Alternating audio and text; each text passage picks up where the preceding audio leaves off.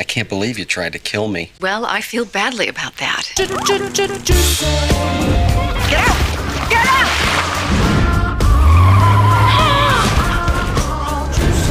This table is imported from Italy. Ah!